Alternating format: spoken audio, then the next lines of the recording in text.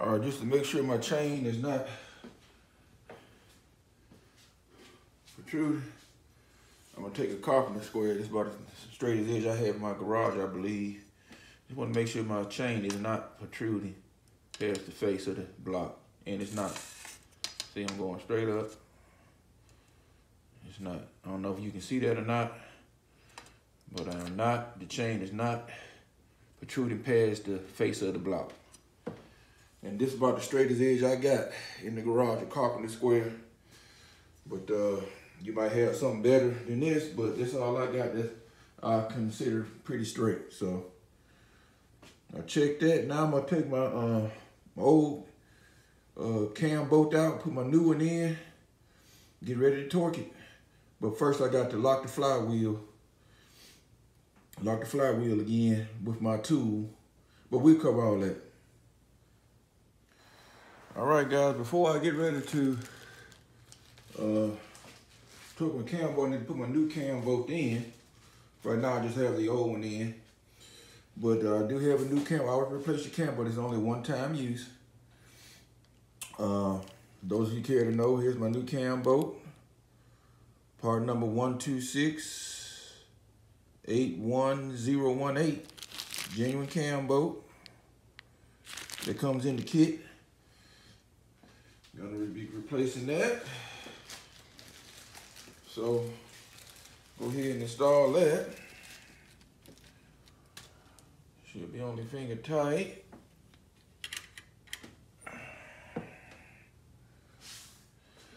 Gonna take the old one out.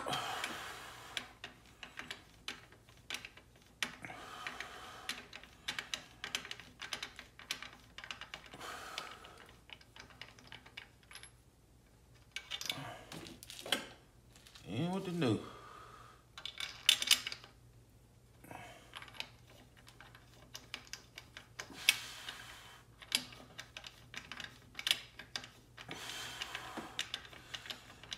My finger's too fat, so I can't get my hand in there to finger tighten, so I'm just using the socket. And it's a 24 millimeter, by the way. There we go. Back in place. Then the old one can be discarded. Now, before I get ready to torque that, that cam bolt, uh, don't forget I still haven't uh, put the the bolt to the left side of my chain tensioner. I need to do that. Also, before you torque it, before you uh, torque the uh, cam bolt, I need to make sure my lifters are seated centered on the uh, on the cam lobes. If they're not centered on the cam lobes, I can take a push rod and push them down uh, so they'll sit, um, you know, centered on the cam lobe. Once again, before you torque that cam bolt, make sure your lifters are centered on the cam lobe. And then also, here I'm gonna go ahead and uh, do my chain actuator. And right now, while this isn't tight, it's loose here, so I can go ahead and pull this pin and then get ready to put the bolt in. So I can go ahead and pull this pin, go as this out, put the bolt in.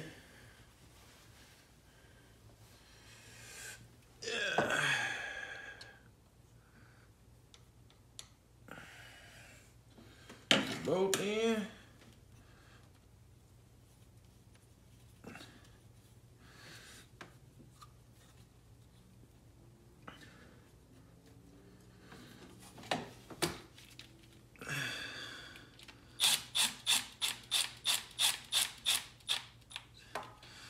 Then I want to torque these to 22, 22 foot pounds. 22 foot pounds, and that's a 10 millimeter. All right, so tighten the chain tension tensioner bolts to 10, excuse me, 22 foot pounds.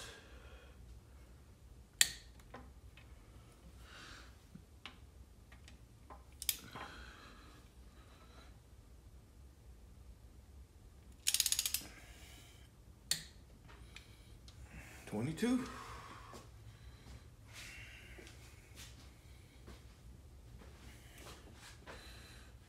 All right, now that I've took that down, I made sure my lifters are centered on my lobes. If they're not centered on the lobes, once again, push them down with a push rod so they are.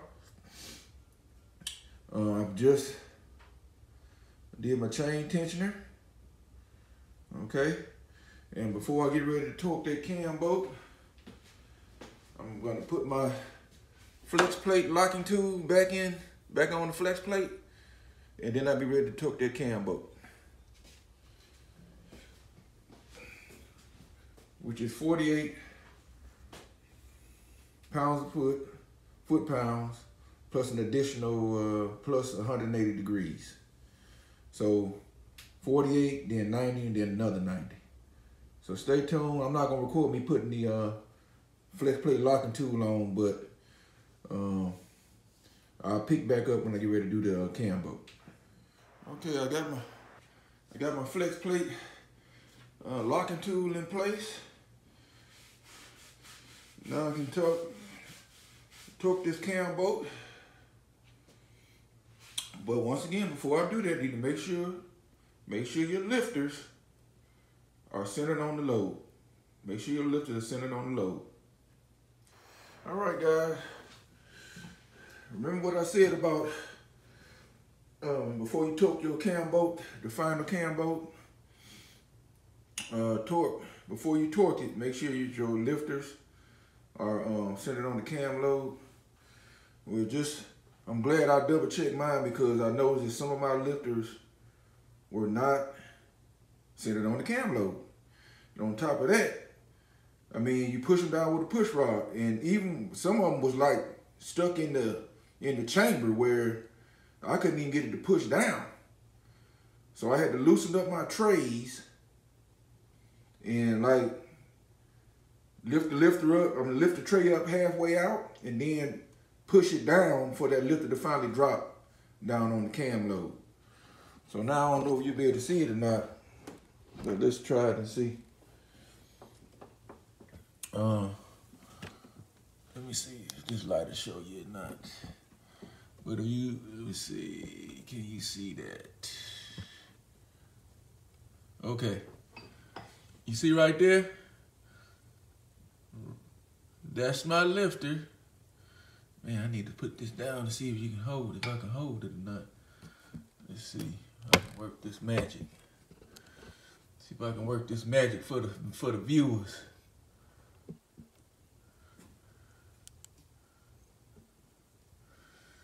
Uh, it's not that good, but you see that lifter? See that? That's one of the lobes. At the bottom there to the left is the uh shit, I need my light. Yeah, let's see if that works. Okay, let me get a pointer or something. Shit. All right, let's see if we can do this. Okay.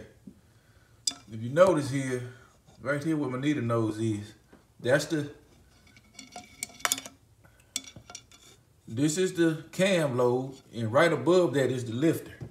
So when I say make sure you're down, make sure your lifter is centered on the cam lobe, that's what I'm referring to.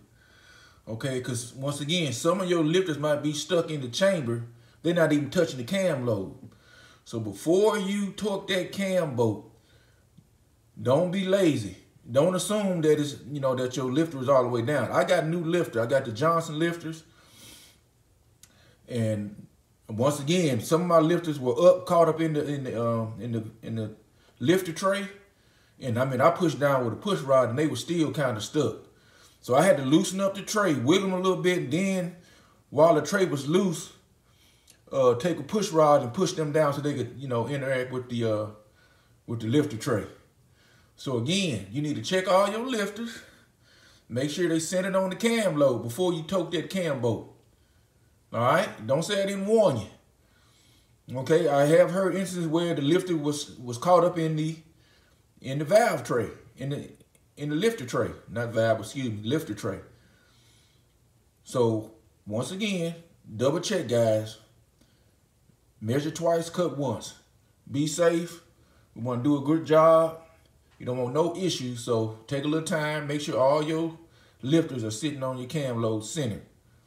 All right, that's my little update. Sorry for the windy video, but hopefully this will help somebody.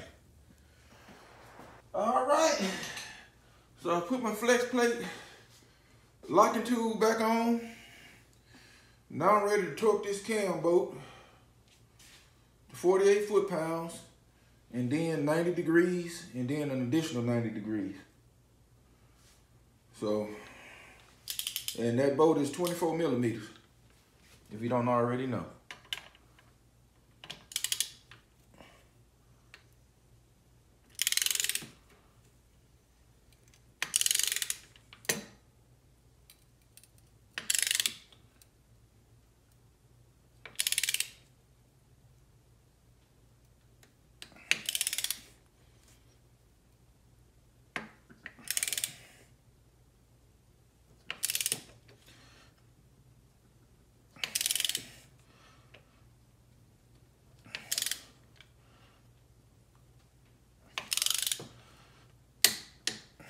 Okay, that's 48.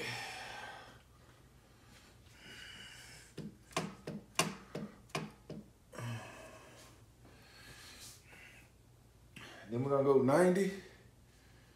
See if I can do 90.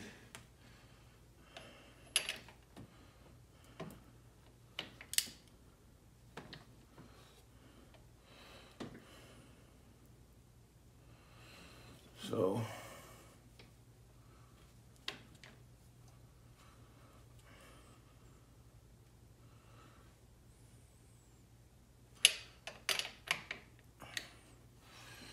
I'm straight up and down like that.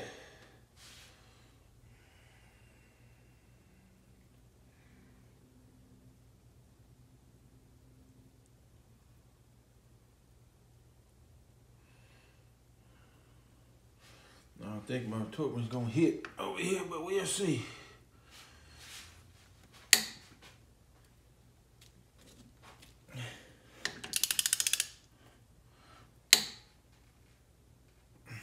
About 90 right there. So 90, then I need to go another 90. So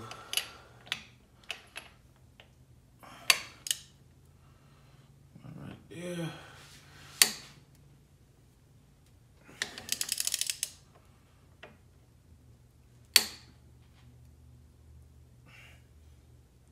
That's about another 90.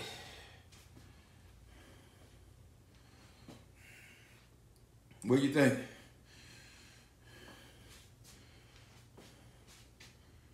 Well, so 48, then 90, and then another 90. Shit, I don't know what's going on with my digital torque, torque wrench shit. I don't know, it's, it's not acting right, so I had to go to my click one and uh, and we'll see what happens. Anyway, so 48 and then 90 and then another 90. All right. So now it's a matter of me putting my oil pan, my oil pump back on, get my oil pan and all that. And then go from there.